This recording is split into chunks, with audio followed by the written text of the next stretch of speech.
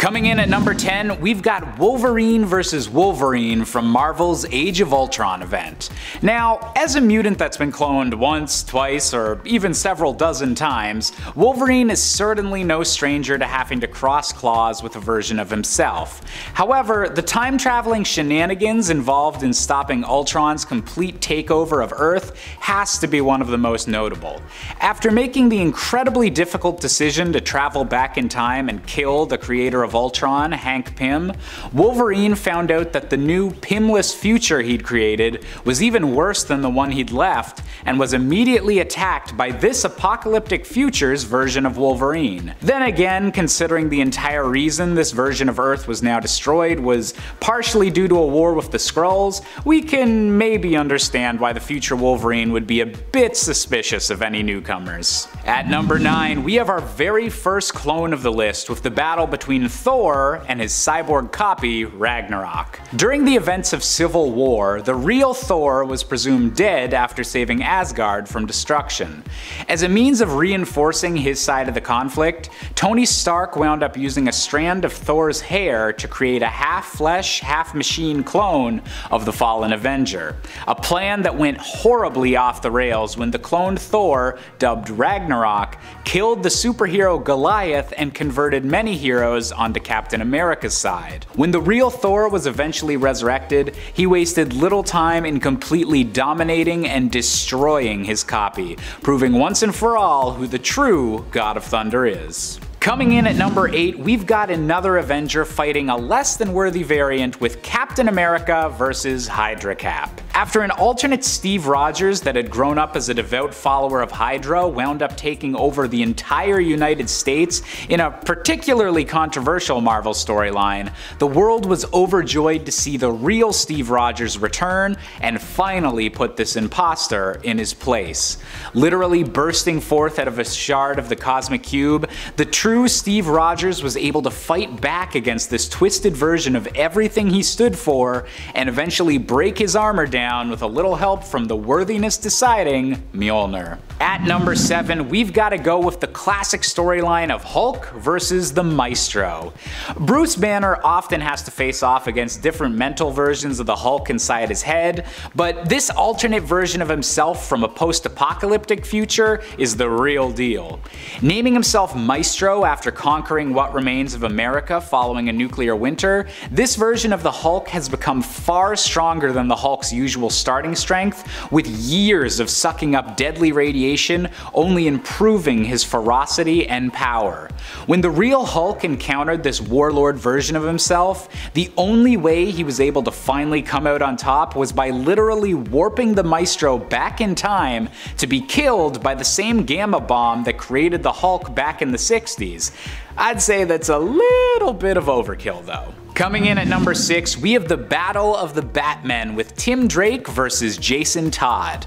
Now, the many Robins of the DC universe are no strangers to occasionally squabbling amongst themselves, but when both Tim Drake and Jason Todd are dressed as Batman and beating the hell out of each other in the middle of the Batcave, well, that's just dramatic enough to earn a spot on this list. During a period of time in which Bruce Wayne is believed to have been killed by Darkseid, Jason Todd had taken over the cowl and cape and become a much deadlier Dark Knight.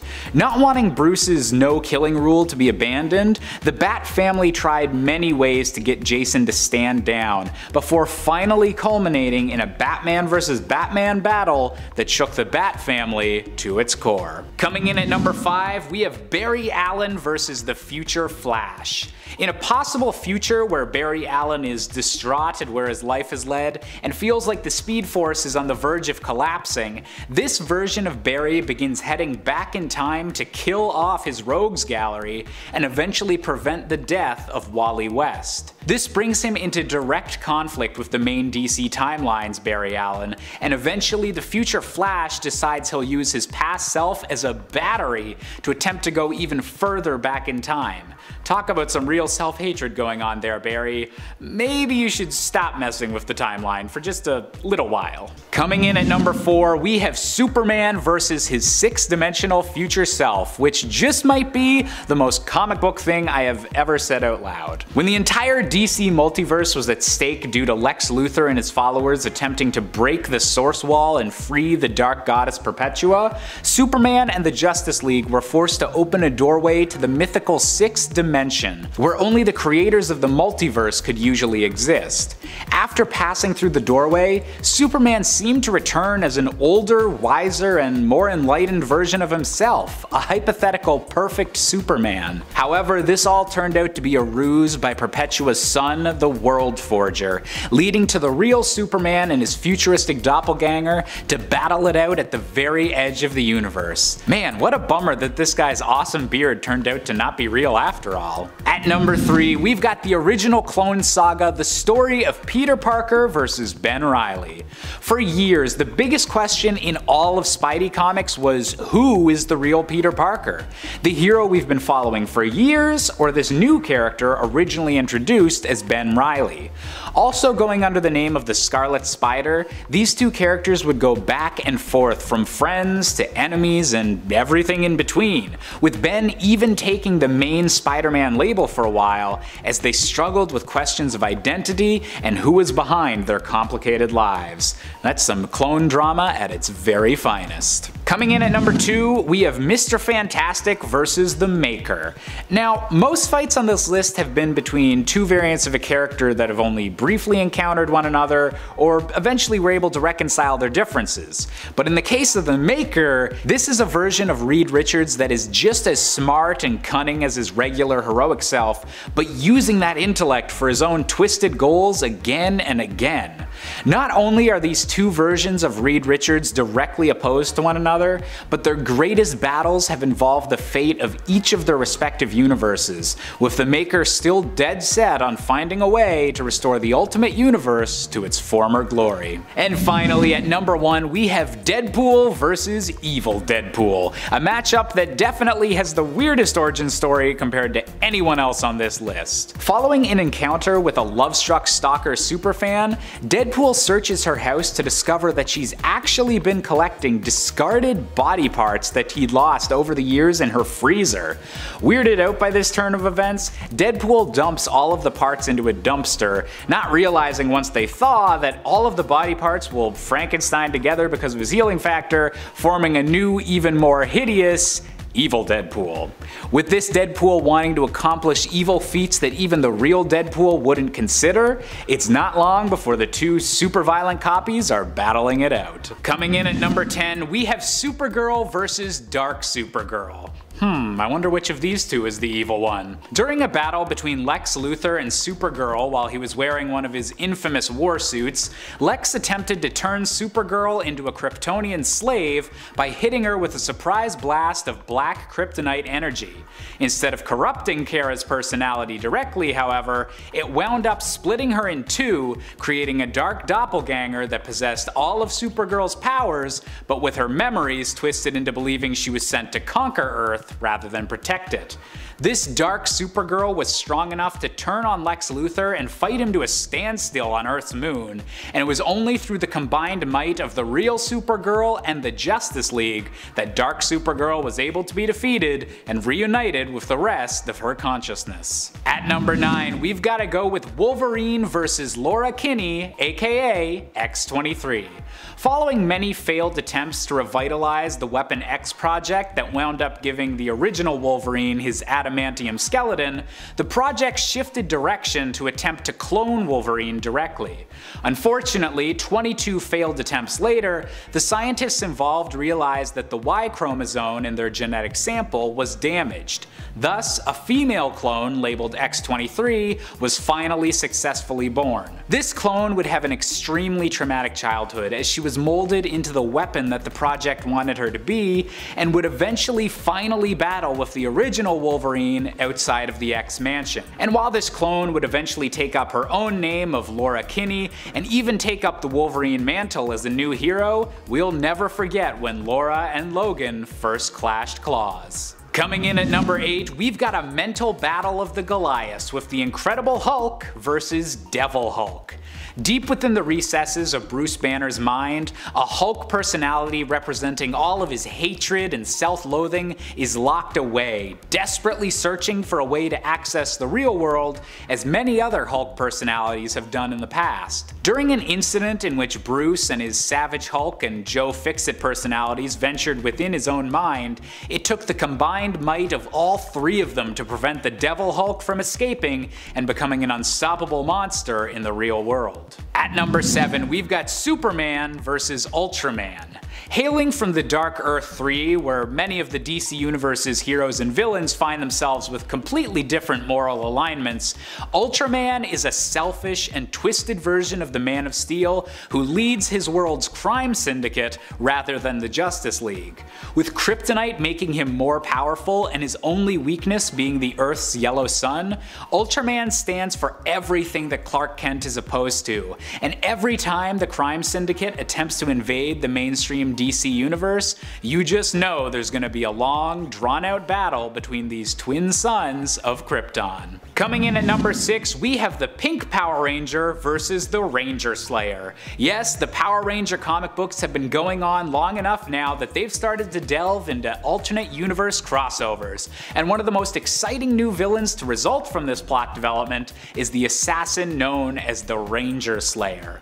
An alternate version of the Pink Ranger Kimberly, the Ranger Slayer was born after the deaths of the Red and Blue Rangers led to this Kimberly's bow being corrupted with dark energy. The second she picked up her weapon, she was corrupted into a new villain known as the Ranger Slayer, a villain that couldn't even be defeated by her normal universe self, but had to be freed from her dark spell by the real Kimberly shattering her corrupted bow. Ah, comic book logic, you really gotta love it. At number 5, we've got Miles Morales versus Miles Morales versus Miles Morales versus Miles Morales? That's right, it's a four-way battle this time, as just like the original Spider-Man, Miles Morales wound up getting his own clone saga. When a villain known as the Assessor experimented on Miles' spider-modified DNA, he was able to create three rapidly aging clones, each with their own quirks and variations on Miles' base powers. Going by the names of Shift, Selim, and Mind Spinner, these three clones weren't inherently evil, but were dead set on finding a cure to their rapid clone degeneration, a miscommunication that wound up bringing them into conflict with the real Miles Morales. Coming in at number 4, we've got Beast vs. Dark Beast. And unlike the Dark Supergirl entry on this list, this evil doppelganger is unfortunately here to stay. Originally hailing from the alternate timeline known as the Age of Apocalypse, this version of Hank McCoy was a twisted mad scientist working under the tutelage of Mr. Sinister, striving to create the most powerful mutants possible no matter what the cost. Although this messed up future would be prevented by the X-Men, Dark Beast was wily enough to find a way into the main Marvel universe and avoid his existence being erased. Ever since, he's been a persistent thorn in the X-Men's side, and a particular burden on Beast, who would much rather that someone didn't use his intellect for evil. At number 3, we've got the Battle of the Spider Clones with Ben Reilly versus Kaine. While I already featured Peter Parker and his clone duplicate Ben Reilly during part 1 of this series, Kaine is actually the very first Spider-Man clone ever created. Unfortunately, being a prototype means that Kaine is mentally unstable and physically scarred, with his cells rapidly degenerating as a side effect of the cloning process.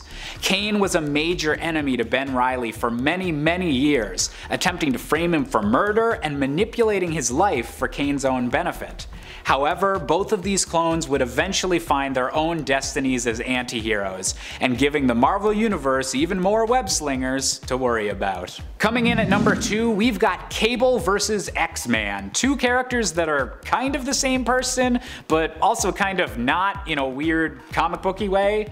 Also hailing from the Age of Apocalypse timeline, X-Man, also known as Nathaniel Grey, is the son of this dimension's Cyclops and Jean Grey. Cable, meanwhile, is from a different alternate future, and his parents are Cyclops and a clone of Jean Grey. You see, totally not confusing. While Cable's telekinetic abilities are hampered by the techno-organic virus that gives him his unique appearance, X-Man is a full-fledged Omega-level mutant, capable of altering energy and matter at a massive scale. With both of them being extremely powerful in their own ways due to their vastly different upbringings, these two heroes cause quite a commotion every time they clash. And finally, at our number one spot is one of the biggest comic book battles in recent memory, Batman versus the Batman Who Laughs. With all of the Joker's insanity combined with all of Bruce Wayne's strategic brain and intellect, the Batman Who Laughs is one of the scariest villains the DC Universe has ever seen. Hailing from the dark multiverse, a place where the evilest and most cursed worlds are doomed to die, the Batman Who Laughs invaded the regular DC multiverse with an army of equally twisted Batmen and threatened to destroy all of creation. In fact, the threat posed by the Batman who laughs and his Dark Knights was so grave that the real Batman actually had to team up with his own Joker to wind up defeating their DNA digivolved foe. Number 10. Batman vs. Red Hood During the story Under the Red Hood, Batman ends up face to face with Red Hood, aka Jason Todd. For years, Jason Todd was thought dead, but at this point it's been revealed that he is in fact alive, and has been for some time. Jason decides to return to Gotham and seek out Batman as the vigilante Red Hood. However, there is a great conflict between the two, with Batman fighting Red Hood during their first encounter and later condemning Jason for his brutal form of justice and his willingness to kill those who stand against him. When Batman attempts to persuade Jason to rejoin him, this has the opposite effect, only turning Jason more towards the darker path. Jason gives Batman an ultimatum, kill the Joker or kill him. You see, Jason wasn't mad that Batman wasn't able to save him years ago, or that he didn't come looking for him after his seeming death. He was mad that the Joker was still alive, with Batman allowing him to go on living, despite what he'd done. Batman refuses however to kill Jason or the Joker, instead preventing Jason from shooting the villain. As a result, Jason becomes an enemy of Batman, and a villain in general. And friends, before we move on to this next spot, if you are loving what we do here at Top 10 Nerd, why not show us you love us by hitting that subscribe button? Do it, I dare you. Number 9. Guardians of the Globe and Invincible versus Machine Head, Hired Goons, and Battle Beast. This has to be one of the most brutal fights we've seen thus far in the animated series Invincible, though fans of the comics know that this really is just the beginning. Mark Grayson as Invincible hoped to help one of Machine Head's hired goons, Titan, escape his criminal life. However, in the end, he was betrayed by Titan, who only wanted to take his boss's title and position. And Invincible, as well as the Guardians of the Globe, also ended up getting their butts handed to them by Machine Head's hired muscle, Battle Beast, to boot. Which I mean, fair enough. Battle Beast is nuts. Number 8. The Suicide Squad versus Starro the Conqueror. Because I mean, come on, you know I gotta do it. You know I gotta do it. Starro the Conqueror is one of the most destructive forces we've seen in the DCEU, and also maybe has one of the saddest stories besides in terms of his origins. That's right, for this one we are pivoting over to the DC Extended Universe, the name for their cinematic universe, and James Gunn's The Suicide Squad. Here, Starro the Conqueror is an alien life form that was basically kidnapped from outer space, brought to Earth, and experimented on by the Thinker. Over time he has grown to be massive, and of course quite angry at his captors. When the Suicide Squad are tasked with uncovering the secret of Project Starfish and destroying the base that houses it, they end up freeing Starro causing mass destruction in Corto Maltese. They defeat Starro in the end, but some of them of course die along the way, and the amount of property damage and casualties as a result of this fight is pretty immense. Number 7. Wakanda vs Namor the Submariner. This fight targeted the entire often mostly heroic nation of Wakanda. And what's more, it was another supposed hero, or at least anti-hero, doing the damage. This all went down during the Avengers vs X-Men event, with the Avengers said to have taken up refuge in Wakanda, and Namor being possessed by a piece of the Phoenix Force belonging at the time to the Phoenix Five, he decided to use his power to draw them out. How did he do this? Well, with a tidal wave that destroyed much of Wakanda, killed or hurt many of its people, and ended up causing a split between everyone's favorite couple, T'Challa's Black Panther and Ororo Munroe's Storm. Thanks for that, Namor.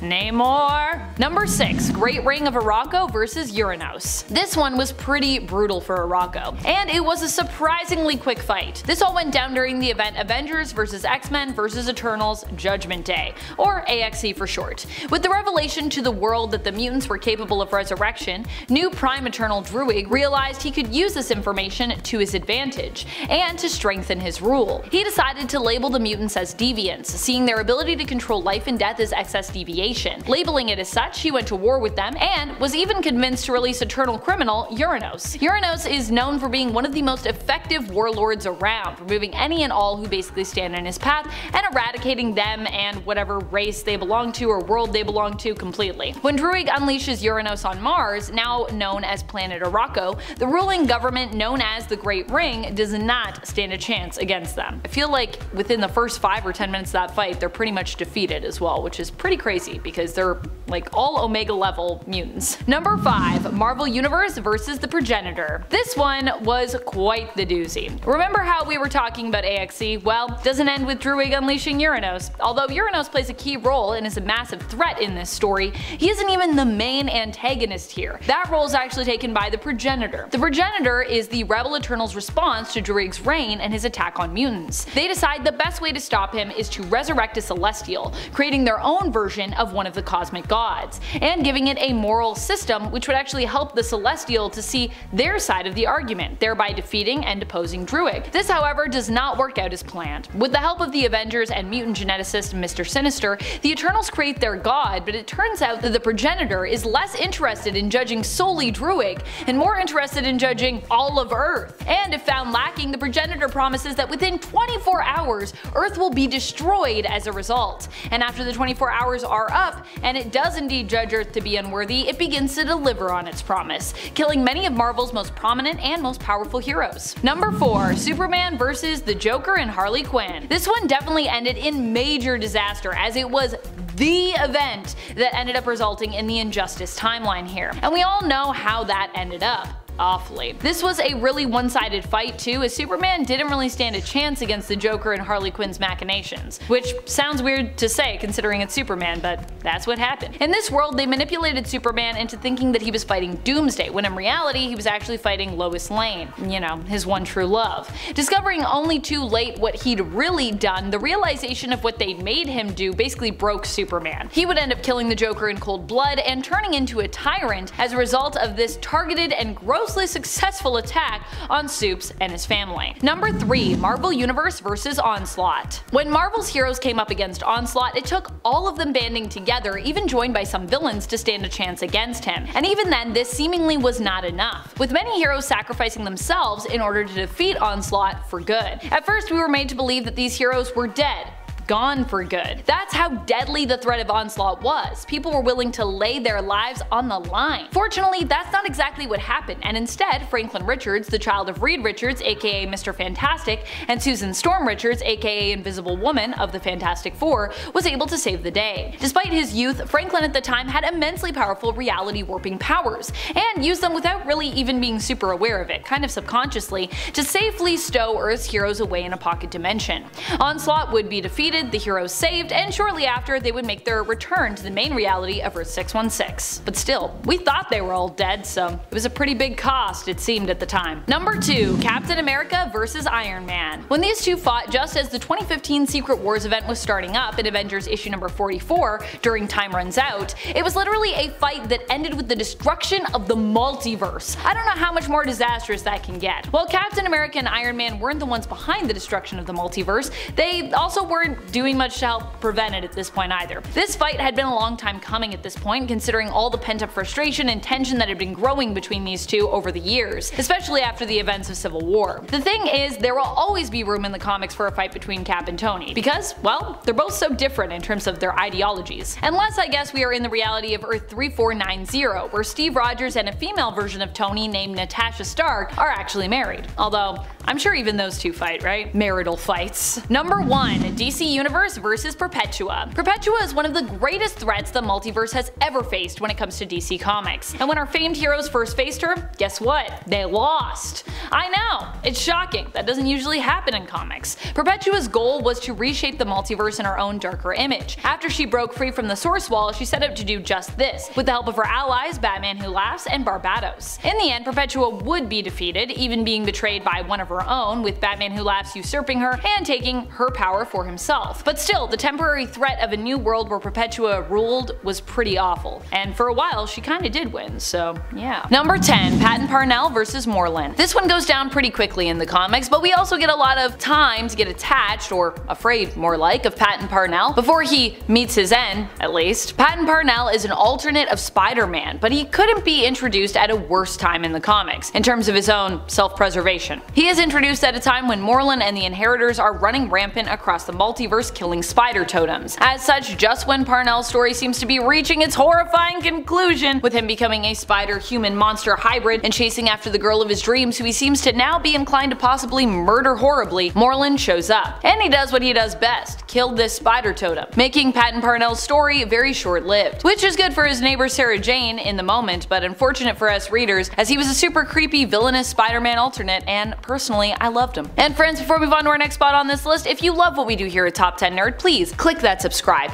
Do it. Do it. Do it! Number 9. Joker vs. Red Skull. Oddly enough, despite being from two very different worlds, these two fought one another in the comic Batman and Captain America, a joint comic venture from both Marvel and DC, written by and with inks by John Byrne. While Batman and Captain America teamed up in the comics, also swapping sidekicks, so do their enemies, the Joker and Red Skull. However, when the Joker learns of Red Skull's bizarre patriotism and ideology, he swears to fight against him. On learning of the Skull's allegiance and Red Skull's offer for Joker to join him and his people, Joker responds by stating, I may be a criminal lunatic, but I'm an American criminal lunatic. Despite his strong stance against the Red Skull and what he represents, however, Joker is pretty easily defeated here in this fight, being knocked out by one of Skull's goons before being dragged onto the plane to be taken back to Germany. Of course, they never do make it there, and Joker gets the last laugh in the end. Well, really the heroes get the last laugh in the end, but like many fights involving the standard Joker, this one against Red Skull is fairly one-sided. Number 8. Green Goblin vs. Sin Eater. I think the really cool thing about this fight is that in defeating Norman Osborn, Sin Eater also freed him. For Sin Eater, defeating a villain usually has to do with absolving them of their sin, which was exactly what happened here when Sin Eater finally caught up to Norman Osborn. Taking his gun, he fired and shot Norman directly, thereby removing his sin from him. Norman begged and pleaded to not be absolved because he claimed he wanted to beat his own demons by himself, but it turns out that this was likely not really Norman talking but the Green Goblin who probably was just pleading to try and maintain his sense of evil. Number 7. Mephisto vs. Khonshu. While Mephisto doesn't end up as being permanently defeated, Khonshu with his avatar Moon Knight still manages to kill a hefty number of Mephistos. It turns out there are a bunch of different alternates so Mephisto is able to just kinda like keep coming, but Khonshu with stolen powers of the Avengers and the help of Moon Knight ends up defeating 100 Mephistos in one day, which is wild. That's a lot of Mephistos. One is honestly a lot. And if you're wondering why Khonshu is being considered a villain here, it's because during this story arc, Age of Khonshu, he was actually kind of revealed to be one, acting in the name of justice but really taking over the world himself and then turning it into kind of like his own Egyptian underworld in the name of defeating Mephisto. Number 6. Doctor Doom vs. Morgan Le Fay. Doom is often one who believes he is more powerful than all, and in most cases, he's usually right, possessing a brilliant mind and extremely powerful will and also being skilled in the use of magic. However, even with being a former student of Morgan Le Fay's, even his magic prowess is no match for her own. When Morgan learns that in the future her student and lover Victor will betray her, she decides to strike first. She travels through time to kill him, and although he attempts to stand against her, she very nearly succeeds in defeating him for good. But even though the Dark Avengers do come to stop her, the initial battle here is quick and painful for Doom before he ends up being rescued. Number 5. Killer Croc vs. Bane. Back in Batman issue 489, two heroes known for their strength and sometimes monstrous nature fought one another. And while they may have seemed more evenly matched on paper, one of them made quick work of the other. We are talking about the fight between Bane and Killer Croc which happened in the pages of Batman back in the 1990s. While initially Killer Croc seems confident in this fight, things quickly turn south after Bane breaks his arm. From there, Bane continues to basically kick his butt and leaves him knocked out and bleeding amongst a pile of toys in the Eden Park Mall. The crazy thing was that Bane and Croc didn't even really fight because they had beef, but more because Bane wanted to face Batman. However, Bane leaves after discovering that the Batman he's come across here is not the true Batman, but Jean Paul Valley. Number 4. Ishmael Gregor vs. Black Adam. This one comes to us from the recent DC film released exclusively in theaters, Black Adam. The initial fight between these two characters is a fast and brutal one, thanks to Black Adam's rage. In this world, Black Adam is more pitched as an anti-hero, but in the comics, he has been known as a straight up villain before. Although right now, I would say in the comics, he's also more of an anti-hero, so kinda makes sense. Still, even in the DCEU, this is a guy who has god tier powers and who just straight up kills people who get in his way. In the case of Ishmael Gregor, he is the descendant of Black Adam's oldest enemy, the King of Kahndaq, who once oppressed his own people in search of greatness. When Ishmael seems to be trying to follow in his ancestors' footsteps and also kidnaps the son of Adriana Tomaz, Amon, both of whom are Teth Adam's allies, Black Adam loses it, emitting a powerful blast of electric energy that defeats Ishmael instantly. While this defeat is swift, it turns out that it's not permanent however, as this may have been part of Ishmael's plan all along. This one comes from a super random place but is a pretty intense fight between what are likely the two main baddies of the MCU thus far. In the comics Avengers Mech Strike issue number 4, Thanos is brought into this fight to face Kang, who the entire Avengers are basically up against. Unfortunately, despite Thanos' strength and brilliance, even he cannot defeat the Master of Time. All it takes is for Kang to lay his hands on Thanos and force him to experience the power Kang holds over time itself. He ages Thanos rapidly with his touch to the point that Thanos is no more than a skull, which is a creative way to kill him considering that Thanos was boasting of taking Kang's skull for his own trophy following their fight. Ha ha ha. Kang doesn't even plan to keep Thanos' skull either, tossing it on the ground and saying he doesn't need souvenirs to keep warm memories in his heart. It's kind of a weird thing to say when you kill someone, warm memories, but you know. The Avengers beat him back after this, but it's an impressive show of strength from Kang. Number 2. Joker vs Poison Ivy. One of the most brutal fights in comics comes unsurprisingly from the world of Injustice, though more specifically we're talking about Injustice Year Zero issue number 8. Here Poison Ivy pays the Joker a visit to get revenge for the years of mistreatment towards his then ex, Harley Quinn. Ivy is inspired to do this after Harley reveals that she secretly had his daughter, and Ivy warns the Joker that if he ever hurts Harley again,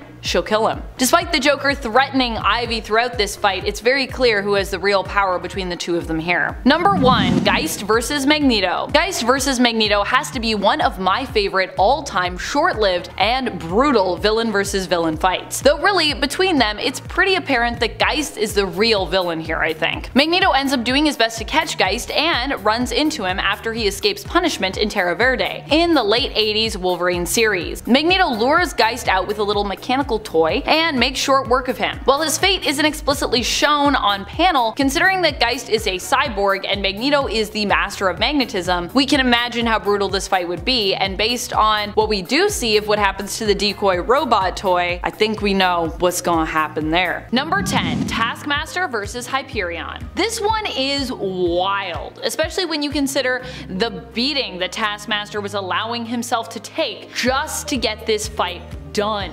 And yet he did manage to get it done, and impressively so. We get to learn about how he actually had this one in the bag through flashbacks we are shown during the fight, where it's revealed that Taskmaster's preparation was the key.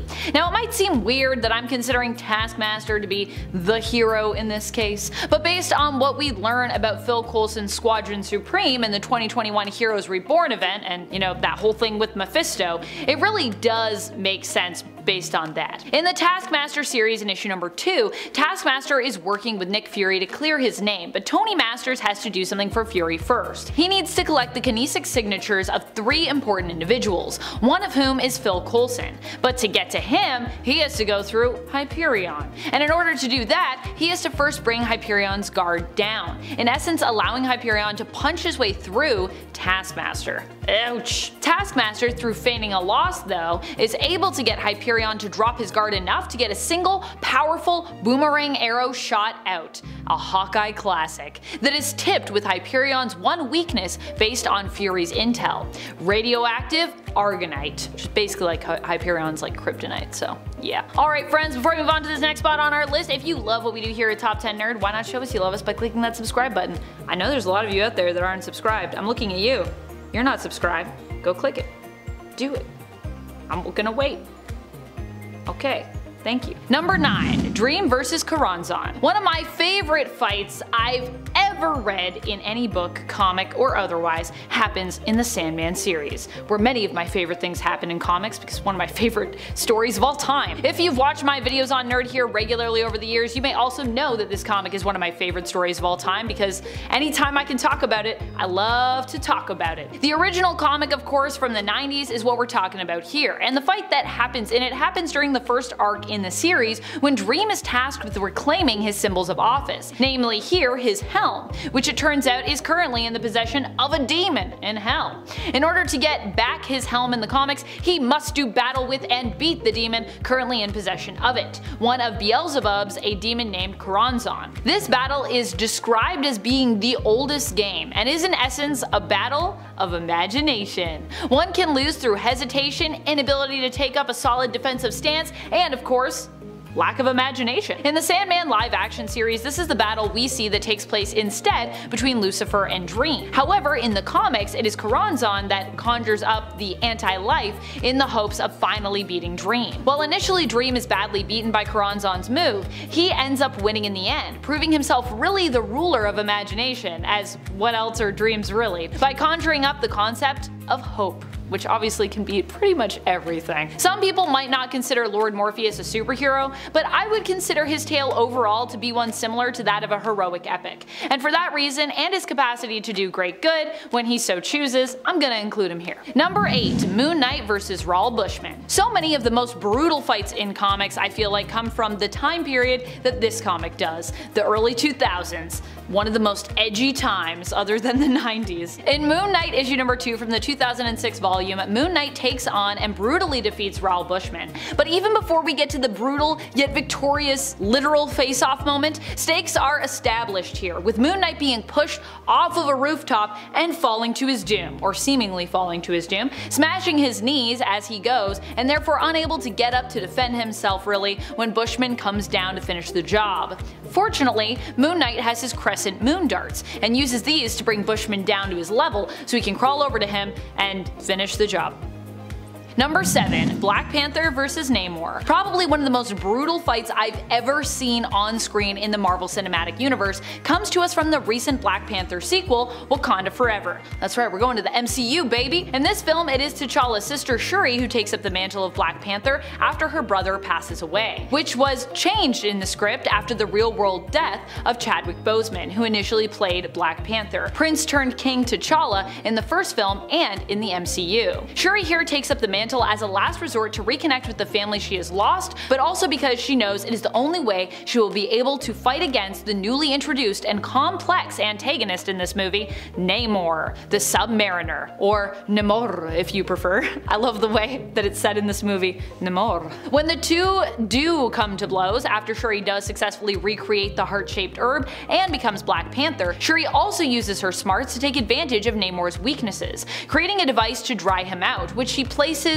in one of her ships and activates during the fight against the famed Talokan. During the fight, the airship crash lands on a desert looking beach. It looks real crispy down there, I gotta say. And the two continue their bloody fight, both almost dying as Shuri attempts to prevent Namor from getting back into the water. Through the course of their fight, Black Panther rips off one of Namor's ankle wings, which allows him to fly, and Namor at one point skewers her with a part of the wreckage. Or a spear, I'm not really sure what it is. looks like a spear, but he also kind of grabs grabbed it from where like the wreckage was. Maybe there were spears on the ship, who knows. Number 6. Batman vs Reverse Flash. This fight was heart-wrenching for so many reasons, and pretty much perfectly encapsulates the kind of fights I'm excited to highlight here on this list, let me tell you. In Batman issue number 21 from the 2016 comic, part of the Button story, Batman is forced to fight against an enemy who pretty much completely outranks him, the Reverse Flash. We see him get brutally attacked, and while it seems like there is no way Batman can win here, we later learn that being the smart man that he is, Batman himself knew that, and so he'd kind of already won, simply by accepting the fact that if he fought directly, he would lose, and knowing that his best bet would actually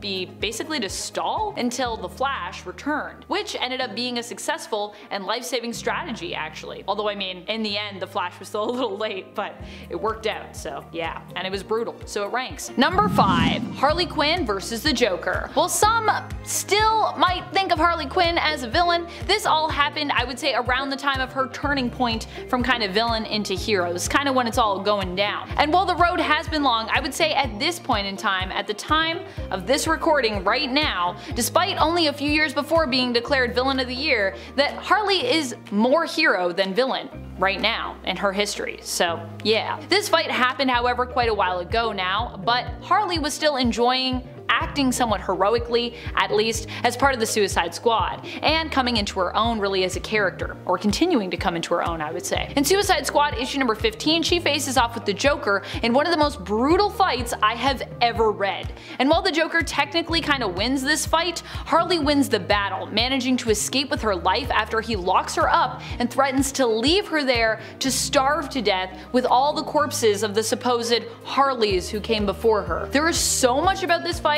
that I cannot talk about in detail because we're on YouTube. But just trust me, it's it's just because it's also literally that brutal. So if you want to read a brutal fight, check it out. Number 4. Spider-Man vs. Green Goblin. This one ended in seeming death for both parties, and it doesn't get more brutal than that. Add in the fact that Peter Parker was also unmasked during the fight and had his loved ones and neighborhood watching him get basically beaten into oblivion, and it creates a pretty intense picture in your mind and in your heart. Or, well, yeah, I mean, you don't even really need to create a picture of it in your mind because this comes from the Ultimate Comics, and of course, they provide the pictures for you because it's a comic book. And what a brutal picture they do paint. This fight isn't just brutal in a physical sense, although it is also that, with Peter smashing a hulking green goblin with basically a semi-truck at one point, but it's also brutal in the emotional sense, because it ends with Peter's apparent death. And I mean also Goblin's apparent death. But of course, I'm much less broken up about Green Goblin dying here. No one cares. Norman, you deserved it. In fact, I kind of feel relieved at that part. While this wouldn't be the end end for either character, this battle is still one that stands out to me as one with heightened stakes, where the characters feel right on the precipice of death almost throughout, until they actually and tragically cross over to the other side. Number 3. Batman vs Superman. An iconic fight in the comics that made its way to the big screen. Granted, on the big screen, I don't know how iconic this fight was for me, but at the end of the day, the fact that it even made it there just goes to show the impact it had on readers. This fight doesn't even come from the main continuity, hailing instead from Frank Miller's The Dark Knight Returns continuity of Earth 31. But it was so brutal and impactful that it was still incorporated into the main continuity, or the likely I guess to be former main continuity of the DCEU. Here, two heroes fight against one another, and one of them doesn't even have any powers to speak of. Batman at this point is not only still powerless, but is also, or I guess was also, retired. He returns from retirement however, and as a result, Superman is basically tasked with taking him out by the President. But Batman isn't prepared to go down without a fight, and a bloody, brutal, and desperate battle ensues between the two at the end of the story that we later find out Batman seemingly won in his own sly Batman way. While Batman seemingly dies and is unable to finish the fight with the strain being too much on his heart and him collapsing. We later learn at the funeral that he is still alive and well, and that Clark may have even been in on this ploy. At the very least, he seems to be in on it by the end of the story. Number 2. Hawkeye vs. the Liberators. As you'd expect, this list wouldn't be much without me diving into the world of the Ultimates. And what a perfect time for it too, as the Ultimate line is due to make its return in comics this year. There's so many brutal fights in the Ultimates, with Jonathan Hickman heading the return of the Ultimates line. Like many, I too am excited about this, so I thought why not dive back into some of the most brutal Ultimates fights we've ever witnessed. This one comes to us from before Jonathan Hickman's time working on the line, but was delivered to us by the dynamic and often brutal duo of Mark Millar and Bryan Hitch. And Bryan Hitch will be returning, so fun facts. It does fit right in on this list because it's just that brutal. The fight happened after Hawkeye of the Ultimates team was kidnapped by the Liberators. After learning of what happened to his family and being mocked, tormented, and questioned, Hawkeye finally manages to strike back against his captors, with the only weapon he has at the time, his fingernails. And we're not talking about Clint clawing his way out of this. Oh no, we are talking about him using his fingernails as projectiles when combined with his deadly accuracy, which basically allow him to take out an entire group of liberators and successfully escape. He kills people with his fingernails. Number 1. 1. Mera vs. Aquaman Mera and Aquaman are often presented as being romantic partners, and sometimes as a crime-fighting Atlantean duo as well. However, this doesn't mean that they never fight. And during the Blackest Night, they actually had some pretty good reason to. At that time, Aquaman had been possessed by the Black Lanterns, joining their forces, and Mera was driven into a rage by the death of the last standing family member she had, Tempest, causing her to become a Red Lantern. During one page in Green Lantern issue number 50 from the 2005 volume of that series, Mera takes on the deceased Arthur Curry, and when he attempts to win her over through what I can only describe as weird kind of empathy. I imagine trying to distract her from her rage by attempting to bond with her over the loss of their son. This however, fails to work, and Mera frightens him off masterfully, responding, I never wanted children, before seemingly killing them both with her blood, which as a Red Lantern was transformed at the time into liquid napalm because that's how it'd be for Red Lanterns. Number 10. Invincible vs. Conquest. Good Ness. Invincible has a slew of fights that are extremely brutal and brilliant. I mean, their brutality is a huge part of what makes them so brilliant. This is a series that knows and understands the importance of creating stakes, both physical and emotional ones for its characters. While I considered talking about the fight between Mark and his dad Omni-Man on the first part of this list, or honestly any of the other amazing fights that happen in Invincible to be honest, as I said there are so many, I would like to specifically thank Vaughn Soso for suggesting this one. This is the fight that happens between Conquest and Invincible. When Conquest first arrives on Earth and demands that Invincible take responsibility as the Viltrumite liaison stationed there to basically get the planet ready for conquering. Mark at this point has just gone through hell and back and basically blames himself for all of the terrible things that have happened on Earth recently. So he's not really in a great mood and is filled with anger, resentment, and sadness for all that he's lost, and decides to take on Conquest. Overall, honestly not a great move, which Mark learns once he finds out just how powerful Conquest is. Probably one of the toughest enemies he's ever faced at this point, is kind of par for the course for Invincible because I feel like every time Mark faces someone he's like, well I've done a lot of things, and then he's always like, dang, how is this person even more powerful? How is that possible? Honestly, it's saying something because at this point in the story, Mark has faced like a lot of tough opponents, including a whole army made up of evil versions of himself. The fight gets even more brutal when Atom Eve comes in to help, having literally flown up off a hospital bed where she was currently healing herself to do so. And I know what you all are thinking, wow, Amanda, what a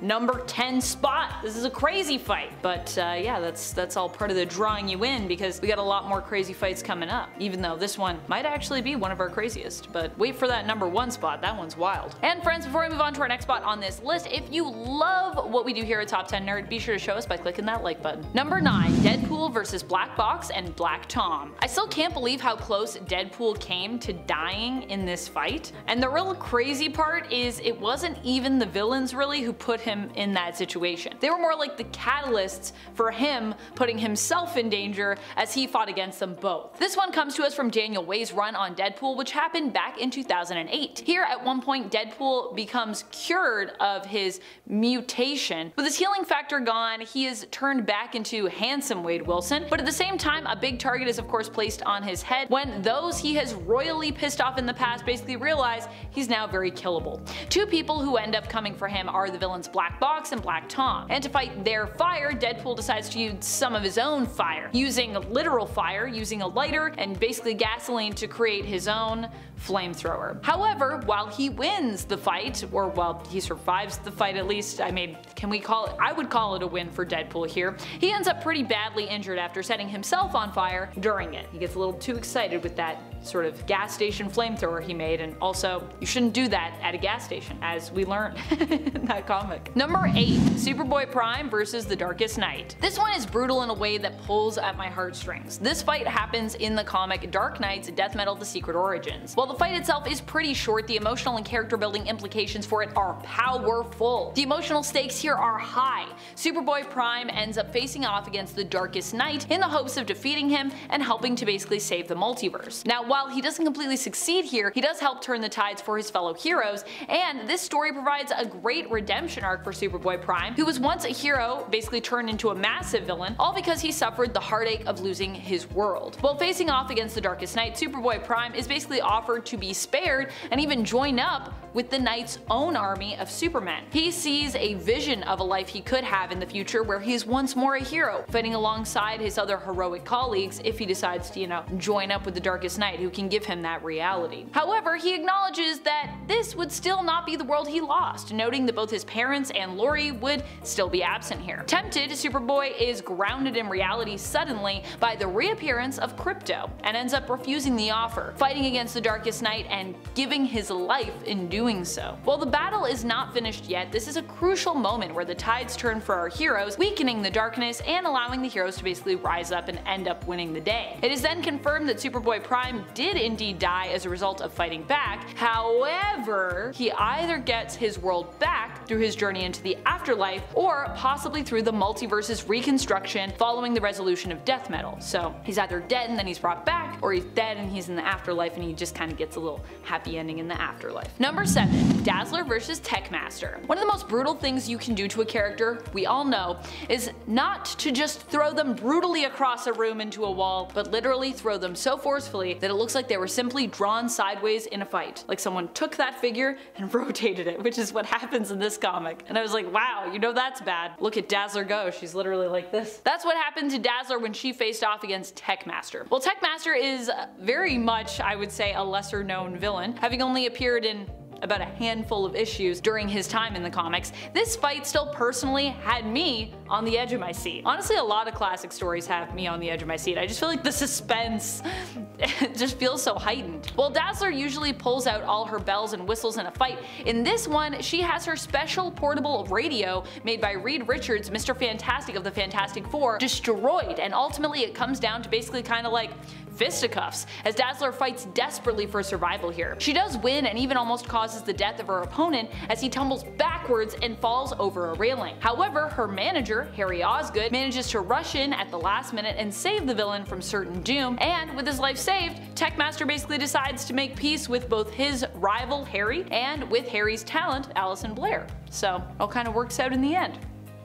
Number 6. Thor vs. Cul Borson. Also known as the Serpent and the God of Fear, Cul Borson is actually Thor's uncle, but that didn't stop these two from fighting one another. In fact, their fight was in essence destined to happen. It had to happen, and Thor was fated to die in this battle against his uncle. Odin had attempted to keep Thor safe from this prophecy by locking Cul away years ago. Cul was once actually the rightful ruler of Asgard, the Allfather, but Odin was forced to overthrow his brother after Cul became obsessed obsessed with striking fear into both the hearts of his enemies and even kind of his allies. Odin locked Cul away deep beneath the sea, hoping to keep him from ever becoming powerful enough to rise again after he learned that the serpent was prophesied to kill his son. However, even doing this cannot prevent the prophecy from coming to pass. Eventually Cul would rise up, powered by the fears of the people of Midgard, and choose his own champions, awarding them great power and each their own hammer. Thor would learn the truth of his uncle and with the Avengers do battle against him and his army, dying as predicted in the fight against his uncle, but fortunately defeating him too. However, this is also comics, so both Cul and Thor would eventually return, despite their epic showdown and its seemingly permanent results. Number 5. Punisher vs Wolverine. I mean these two are both superheroes, which is maybe what makes the fight so much more brutal. This one happened during Garth Ennis's and Darick Robertson's time on Punisher. Here Punisher and Wolverine end up in a kind of a reluctant team up or a team up gone wrong I would say, when Wolverine questions Punisher's methods here. As a result, to prevent Wolverine from hunting him down, or at least to kind of like slow Wolverine down because you know, it's pretty unkillable, Punisher resorts to all kinds of brutal tactics, including shooting Wolverine point blank in the face with a shotgun, allowing him to have his limbs basically sawed off, attacking him below the belt, and steamrolling him. Literally steam, he got steamrolled. He got a steamroller and he ran Wolverine over. Boy. Wolverine of course survives all this mistreatment, but it's still a brutal read, and it's brutal in like a lot of ways to me. Definitely a brutal fight. Number 4. Batman versus the Joker. During the events of Endgame, no, not the Marvel Endgame, the comic story from Batman Endgame, Joker and Batman essentially end up trying to straight up murder one another, or at least from a reader standpoint, that's basically what it seems like. Well Joker at this point boasts of a healing factor that he claims he received hundreds of years before due to him being like basically this ancient being, far more ancient than Batman could have ever imagined. It's revealed through the course of their fight that, you know, this is probably not true, as Batman ends up successfully nullifying Joker's abilities in a way that reveals he only recently probably stumbled upon these powers and is definitely not as old as he claims and is just trying to mess with Batman, which honestly is the Joker way. Number 3. Conan vs. Kulan Gath Just when you think Conan is going to take this one, the script gets flipped on you. This fight comes to us from Savage Avengers issue number 25, so good. Here, Kulan Gath faces off against Conan, who has come back to battle this fiend with the help of Kang. So you would think, with the impressive arsenal Kang has at his fingertips, that Conan would have this, right? Well, this is Kulan Gath, probably at his most powerful. He is the ruler of the world here, and even though Conan manages to maim him, he's not able to defeat him in hand to sorcery combat in this issue. Though of course there is a greater plan at work here which ends up balancing the scales in Conan's favor in the end, but during this issue we don't really get to see that. Instead we focus on this bloody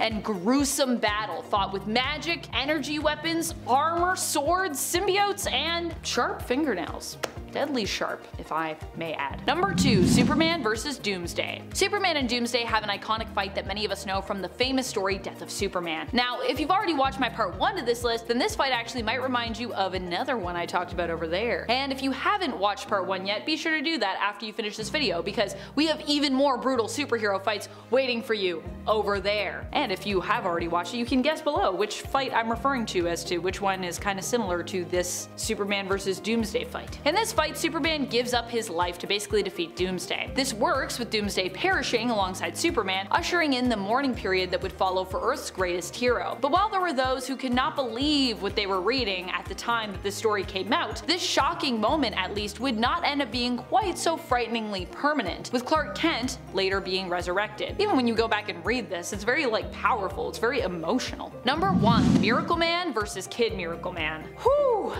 This is a brutal one. Thanks to Michael Lavender for suggesting this one in the comments. I honestly do not think of Miracle Man often enough in my day to day. When I'm talking about comics, the Miracle Man is something that exists sort of near the back of my mind. So thank you so much for suggesting this one because now I get to talk about Miracle Man, which is just a great time. Talk about a character and a story and a fight. Rather, this one is honestly more of a massacre by the end. Less of a fight, more of just a brutal massacre it's true that this is probably one of the most brutal superhero fights in all of comics history, I would say. And I'm actually like sad that I didn't include this on my part 1, but you know what? It doesn't have to be the most brutal, it just had to be some brutal fights. So it's still good. Now we can come back to it over here and I can give it a top spot. We're going back to issue number 15 of Miracle Man to talk about this one from the 80s, although it was also reprinted in 2014, so if you see it looking a little bit more modern here, it might just be because we used that art in this video instead, which is actually also from Totleben, so it's same artist, just just they also redid it. And I would still say that I think this story has some of the most captivating and gruesome artwork I've ever seen in a comic, courtesy of Totleben himself. In this tragic tale, Miracle Man is forced to fight against his former sidekick, Kid Miracle Man, who is now all grown up. While at least his Kid Miracle Man form is. Having lived in this form for years, he aged and also became insane. After transforming back into his human form of Johnny Bates initially after years of being Kid Miracle Man who was now an adult and was basically crazed with power, he was traumatized to learn of all the horrible things that he had done in that form. So he was put into an orphanage with the hopes that, you know, being around other kids his age might help him to like drown out the voice of Kid Miracle Man that still plagued his mind and was kind of living in there. However, after being tormented by the other kids and suffering from SA, Johnny ended up saying the magical name of Miracle Man, transforming back back into Kid Miracle Man and unleashing him on the world. Thousands, like 40,000 people were killed in massacre that ensued after this transformation, and in the end, Miracle Man got lucky when Kid Miracle Man was forced to say the magical word once more to escape the pain of the injuries he'd suffered in battle. Also, this battle, I should admit, took like pretty much everyone to even just get him to turn back, so that's wild. Knowing that there was likely no way to save Johnny from his evil alter ego, and therefore no way to prevent this kind of awful occur from happening again, potentially in the future, Miracle Man was then forced to offer Johnny a sense of comfort, holding Johnny's head before he like basically crushes it in his hand. Ah!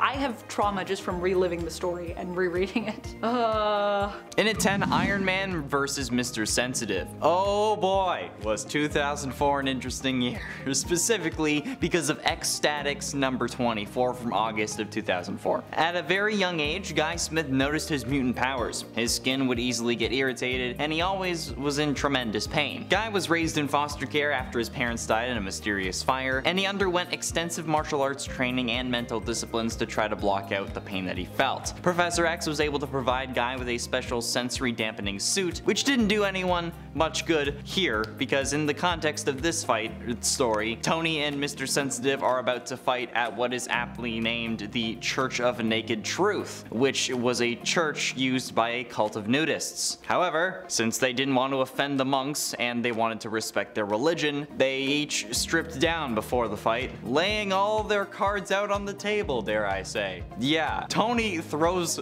grass at Mr. Sensitive, and that's not even a joke. He throws grass at him to hurt him because he's not wearing his suit. It's weird, dude. Why was this a thing? In a 9, Doom Above All. Doom Supreme's story history closely paralleled his mainstream counterpart's journey until a pivotal moment where he ascended to the mantle of Sorcerer Supreme, and then thusly conquered his own reality. Indulging in sadistic torment of his foes for countless years, Doom Supreme eventually wearied off his cruel game and ventured into the past with the intent to exterminate the prehistoric Avengers. Upon concluding the hunt, Doom Supreme struck a deal with Mephisto, restoring the Watcher's eye to the orb as a favor, and then satisfied, he departed to unleash his wrath upon other Earths, leaving destruction in his wake. Unbeknownst to many, Doom Supreme had clandestinely gathered and subjugated various iterations of Doctor Doom Doom from these prehistoric Earths. Utilizing Doom the Living Planet as his formidable base, he amassed a huge army of Dooms. Poised to execute his grand design, the stage was set for an epic clash where the fate of countless realities hung in the balance. It was literally an army of Dooms. And then Doom Supreme ruthlessly carved his path towards godlike supremacy. So yeah, um, if you want to read that, have fun with that. God damn, that was that was interesting. and at 8, Squirrel Girl versus Galactus. Okay, I mean when there's a whole series called The Unbeatable Squirrel Girl, you're gonna kind of think that she's gonna end up on this list, okay? Because god damn, look, I know you love her, but come on. The solo series of the same name debuted in January of 2015 and ran for 8 issues and was relaunched in October of 2015 as part of Marvel's all new, all different branding and was published through November 2019, with 50 issues in that section making for a total of 58. Both series were written by Ryan North, but in issue number 4 of volume 1, Squirrel Girl literally stops Galactus from coming after Earth by being friends with him. I mean, come on, you're literally unable to sit there and tell me that th this shouldn't be on the list. Bro, she didn't even have to fight him for God's sakes. That's insane. She just talked the devourer of worlds into not devouring a world. Come on. Plus, like I said, I know you all love Squirrel Girl, okay? I might not have been here for a while. Yeah, I, I came back, but like, I, I know that much. I also know that suggesting or saying anything against the Hulk will get me mean DMs for three years straight, but hey, okay? At least you love Squirrel Girl. But still, her fighting Galactus is pretty ridiculous. You have to admit, okay? It's, it's pretty freaking nuts. Yes, I made the pun. In its 7 Composite Superman, introduced in World's Finest Comics, number 142 from June of 1964, Joseph Meek was a former high diver who had fallen on difficult times. If not for Superman's timely intervention, Meek would have perished. So grateful for the rescue, he was offered a job by Superman at the Superman Museum, where he worked as a custodian. However, his bitterness lingered, extended by the constant reminder of Superman's achievements surrounding him. So one fateful night while Meek was cleaning near statuettes depicting the Legion of Superheroes, a lightning bolt struck that display, somehow imbuing Meek with the combined powers of the Legionnaires. Adopting the name Composite Superman, Meek threatened to expose the hero's secret identities, which he had learned through use of his telepathic powers, unless he actually was accepted into the League.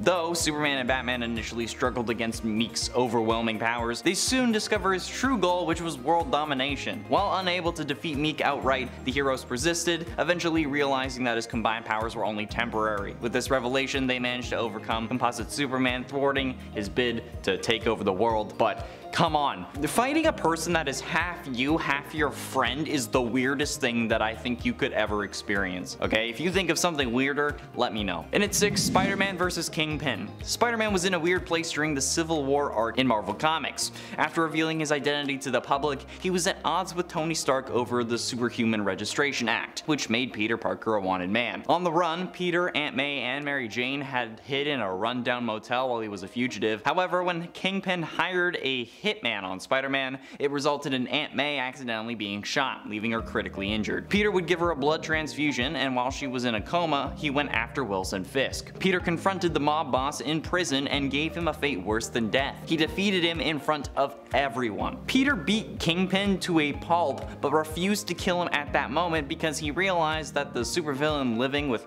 everyone knowing he can be beaten was better than ending his life. But he also mentioned that if Aunt May did die from being shot, he would come back and fill his lungs with webbing and watch him suffocate, which is incredibly dark, but also makes sense, okay? I, I get where he's coming from. I'm surprised he didn't say something like he would pull his face off by just like not stopping the stick of his hands against his bald head, but hey, that's just my thinking. I'm more brutal. Watching him suffocate probably feels better anyway. But like, yeah, that's messed up. Come on. I'm gonna fill your lungs with webbing. God! Venom? Halfway through in number 5, Kryptonite Chewing Gum. Yes, this is actually a thing. The Justice Buster Batsuit is a mech suit part that's part of Batman's Fenrir contingency that's designed to take down the entirety of the Justice League, making its feature appearance in Batman Endgame when the Joker used his virus to warp the brains of the Justice League at the beginning of his Endgame plot. Batman was forced to use the Fenrir protocol to take out his teammates. The suit was successful in eliminating Wonder Woman, Flash, and Aquaman, but met an even match at the hands of Superman. After a lengthy fight, Superman tore through the armor and nearly killed Batman until Bruce used kryptonite chewing gum to spit in Clark's face, rendering him unconscious. Come on, okay? Imagine waking up to learn that you passed out because Batman spit on your face. Like seriously, bro, please,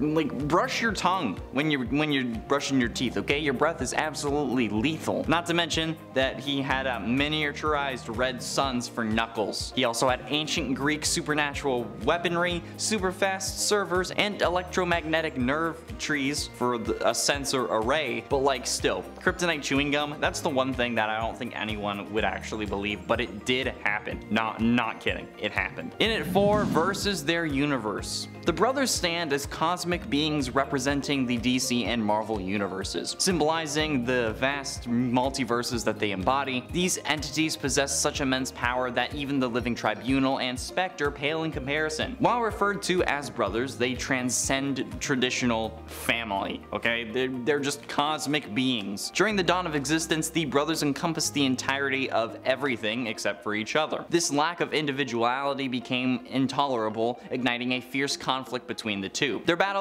unleashed forces that brought about the end of creation itself, followed by a grand rebirth. In this cataclysmic cycle of renewal, the brothers were torn asunder and their existence scattered throughout the newborn universe, splintering it into a multiverse. Fragments of their existence are dispersed in all directions as the expanding universe is unfolded, and through the process they lost their consciousness and sense of identity, requiring eons to recollect themselves. Literally, it's like me after I'm social for like a day. I have to I have to recollect for eons. But yeah, they were villains in the DC and Marvel amalgam universe storyline. Spider-Man was literally fighting his universe, which is pretty ridiculous. So I think it deserves to be on the list. Getting close to the end, in number three, Batman versus Hulk. Talk about one-sided fights, right? Okay, like Batman standing up to Superman is one thing. They share a universe. Yeah, can kryptonite chewing gum, whatever. But Batman and the Hulk have actually gone toe-to-toe. Surprisingly, Batman achieved the seemingly impossible feat of defeating the Hulk in the harmonious days of 1981, when DC and Marvel were on friendly terms and the concept of separate universes hadn't really emerged. They occasionally collaborated on crossover stories. One such amusing tale unfolded in DC Special Series number 27, written by Len Wein and illustrated by Jose Luis Garcia Lopez. In this extraordinary encounter, Batman Batman unexpectedly crossed paths with a rampaging Hulk. Manipulated by the Joker to view Batman as an adversary, the Hulk turned his fury towards the Cape Crusader. Batman, recognizing the immense power of his opponent,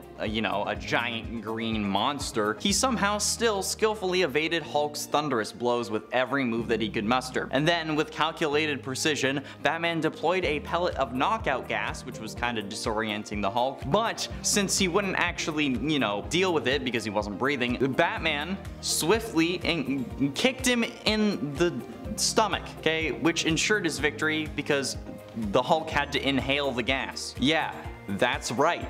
Batman kicked the Hulk in the gut so bad, it actually made him flinch. How the actual does that make any sense? Please. Someone explain it to me. But ultimately, in number 2, Juggernaut Bullet. In the pages of Sins of Sinister number 1, jumps us forward a few years to see how the Marvel Universe has changed, sort of similar to how Endgame jumps 5 years into the MCU future. In a complex web of manipulation, Mr. Sinister orchestrates a grand scheme to frame the X-Men as Earth's greatest heroes, targeting anti-mutant organizations like Orchis and implicating the Avengers. Among his concerns is the formidable Thanos, who Sinister plans to neutralize with a secret weapon, a physical controlled juggernaut. It's a freaking juggernaut bullet, okay? And a pivotal moment showcases a small yet powerful juggernaut propelled through Thanos' skull via a temporal cannon crafted by Forge. The impact scatters fragments of Juggernaut's brain matter across 2 billion years of history, but the story doesn't end there. No. In Nightcrawler's number 3, set in a new timeline created by Sinister's machinations, it is revealed that most of the spirits of vengeance have departed Earth, forming their own hive of malevolence, but Banshee, okay, bonded to a spirit of vengeance explains to Mother Soul that they have infiltrated infiltrated the mighty Galactus, driven by his insatiable hunger for revenge against those who tainted reality. Unexpectedly though, the same Juggernaut bullet that struck Thanos and altered history now targets Galactic Ghost Rider. Over the course of a thousand years, Juggernaut hurls through space, gaining momentum, and blows right through Galactus' entire being, and blows up a vault. It's nuts. And finally, in number 1, Archie versus Punisher. The Punisher is truly a man who never backs down and punishes those that he must, or thinks that he must, okay? and we even see this bizarrely enough reflected in his interaction with the comic of Archie Andrews. Punisher is willing to venture into all kinds of different worlds in order to apprehend a criminal, but he succeeds this time after mistaking Archie for a criminal. But that of course is too easy when you consider how, you know, Archie's a dude. Punisher is committed to catching the evildoer and resorts to food fight tactics. Yes, and for Frank Castle, who often prefers lethal means, you bet that's a commitment. That's absolutely ridiculous. Punisher got into a food fight with Archie. That's it, just end the video there. Like, what the hell? What the f A food fight.